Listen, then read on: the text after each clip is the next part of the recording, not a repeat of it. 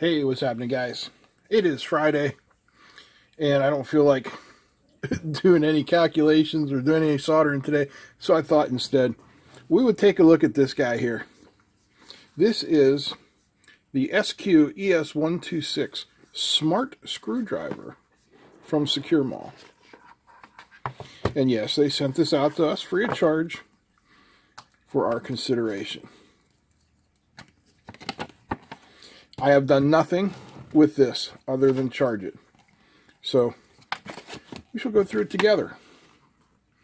The SQ ES126 is a MCU-based STM32 equipped with high-definition OLED digital display sports Type-C interface 5-volt power supply and firmware. Okay. Operation method. Gear setting. Standby interface. Press the A or the B key three times in a row. Then select the working gear. And if you look here, you can see the little scale telling us working state. Long press B enable LED smart lighting. Press A lighting function not enabled. Press A or B. Okay. All right. So in the package, we got that instruction manual. We have the screwdriver itself here. Which is about five and a quarter inches long. Or 13 and a half centimeters. Diameter about a centimeter and a half or a little over half inch.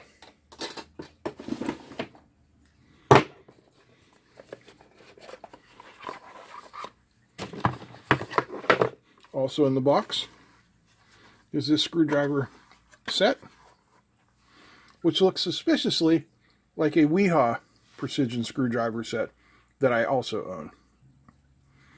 Give you a nice view on the different tips that are included. Probably some useful ones in there.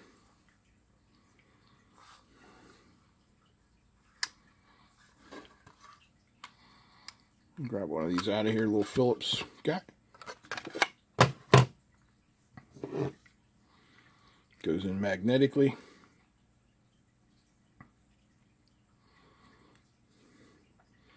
Okay, I pressed the button.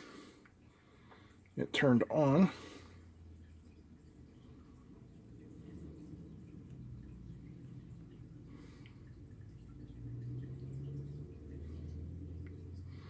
I really don't get how you're supposed to use it.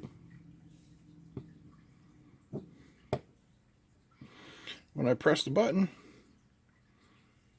oh, there it goes. That's unscrew.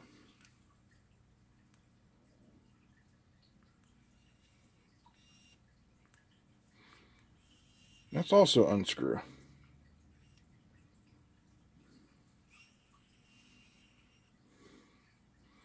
How do we change directions?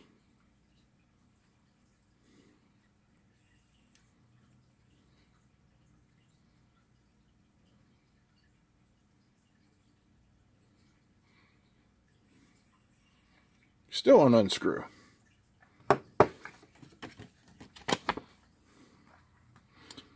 lighting function, semi long press A or B and gesture.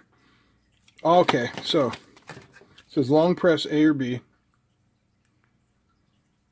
and gesture which direction we want it to go. So long press now.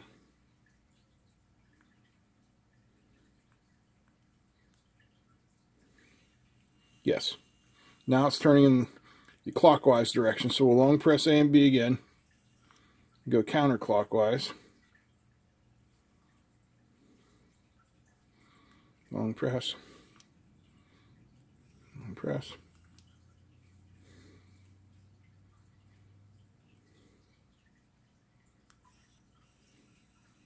Yeah, now it's unscrewing. So, we have that. And then it said, uh, what, press three times? One, two, three. And there is our gears. Whoops. First gear, second gear, third gear, fourth gear, and the angle sensing mode. So torque gradually decreases going down. So maybe gear one has the most torque. Let's see. So that's gear one.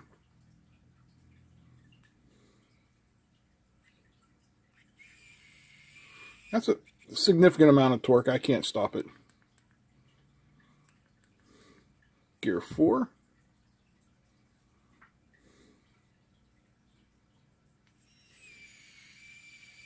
And I can't stop that either. So it's hard to tell, for me, what exactly the difference in the gears is. Let's find something with some little screws we can take apart. Alright, so I got one of these little meters out here. And I have it in counterclockwise.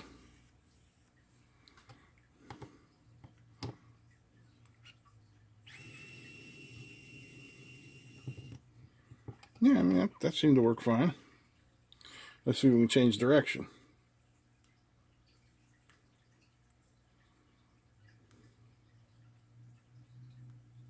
Come on. Nope, that's still counterclockwise.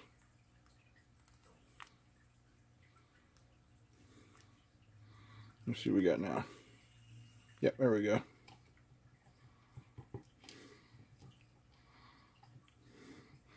So we'll try and put that back in.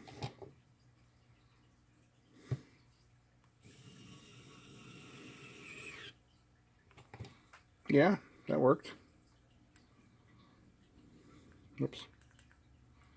Let's go up setting number one and see if we can reverse it.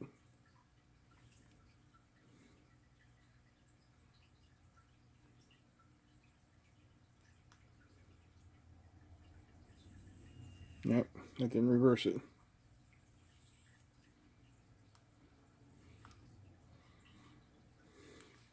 Now? Nope. I don't know. What am I doing wrong with this?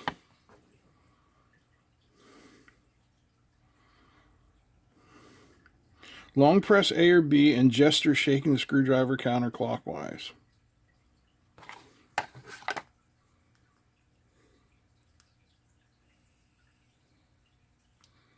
Okay. Come on, turn. Why don't you turn on? See the screws in the up position? That shouldn't even loosen.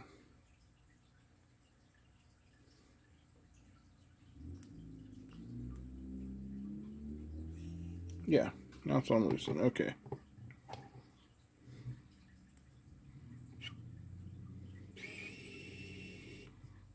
yeah, I just, I mean, it works. To me, it's inconvenient, and I'm just as fast with a screwdriver that I don't have to mess around with the settings on. So, yes, it works. It's neat. It's about a hundred bucks. Yeah. I mean, that's really all I can say for it. Does what it says it's going to do. Does it well. I don't know where I'd ever need it. But it works and it's neat. So I would like to thank Sequre Mall for sending that out. And I will place a link to it down below where uh, you guys can check it out if you think you need a smart screwdriver.